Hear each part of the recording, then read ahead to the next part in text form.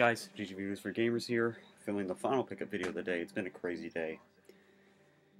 So, uh, Toys R Us was having a special sale, one day only today. It was buy one, get one free on all 10.99 Amazing Spider-Man 2 Spider Strike figures. So I did just that. This is the one I actually paid for. It's Iron Claw Spider-Man. Uh, it's kind of cool. I like the whole uh, red and white aesthetic. Very Canadian with the blue accents.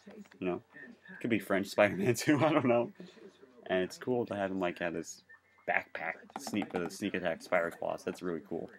Uh, still, again, haven't seen the movie, but hoping it's better than the god awful first one. I never want to see that movie again as long as I live.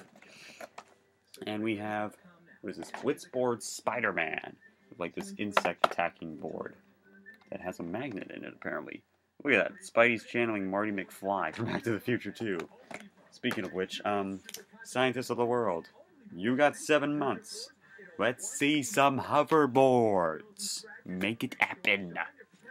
And uh, my friend was DJing at the Forge Place Mall. He brought the house down. He should have, like, the skylight should have just shattered, but that would have probably killed a whole bunch of people below. Because that glass is sharp and plentiful. So that's a good thing. But uh, before I made it down to his events, which was at 2.30 today, I went to the Buck or Two and picked up a couple knockoff Transformers. Uh, they have them there all the time, and they're fantastic. They're actually really funny figures.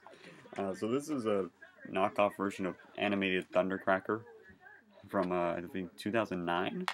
I don't know how the, I don't know how these companies get a hold of these molds from Hasbro or someone or like someone's an informant inside Hasbro. But either way, I'm happy. And this is a bootleg of uh, 2008 Universe Cosmos. Uh, I finally have a Cosmos figure. it's pretty funny. They just released one actually in the Generations line. It's pretty good. Uh, you should go check it out. Support Hasbro. Uh, but I like to support the little guys too. Alright, I'm a pirate.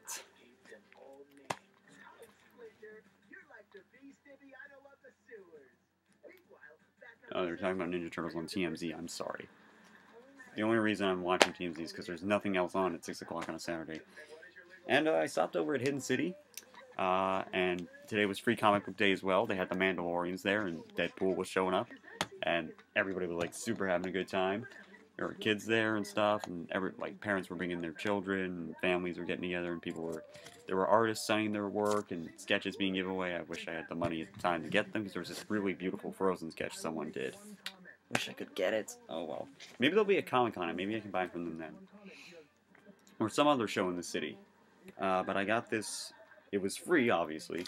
It's the all-new Mighty Morphin Power Rangers uh, from Papercutz, and it actually is a legitimate Power Rangers comic. It's a new Power Rangers comic. It's got everything you could ever want. It's got profiles of the Rangers. For some reason, Tommy is having the Green Ranger when he's actually the White Ranger in this comic. You got Jason there. You got every every 90s boy's crush, Kimberly. My personal favorite Ranger, Billy, the Blue Ranger. Who's my favorite color? You got uh, uh, Trini, rest in peace, Thuy Trang. You were the Yellow Ranger for me. And my other favorite Ranger, Zach, the Black Ranger. Zach Attack is back. My older brother, my oldest brother is named Zach, so. and uh, apparently he looked up to Zach Morris as a child. I'm not making any of this up to be funny. And you even have a profile of the real heroes of Power Rangers, Bulk and Skull. They saved a lot of mediocre episodes during the series. Not that the series itself is mediocre, but you know it it, it has you know. I haven't read. I briefly skimmed through this, and from the looks of it, it's vintage Power Rangers. It's silly, it's cheesy, it's funny. You got the Megazord fight, the monsters, Lord Zedd, Rita Repulsa.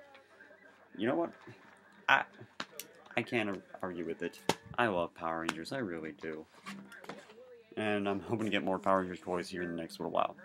So, uh, hope you guys enjoyed all these pickup videos that I've been shooting back to back to back. Oh boy. And uh, now I know how the thrift stores feel. Shout out to the thrift stores and Beardman and my good buddy 64-bit Matthew. Thanks for that uh, Bill and Ted game, you guys. I'm serious, it really is fun. If you don't know what I'm talking about, go watch the Retro Gamers Unite pickup video.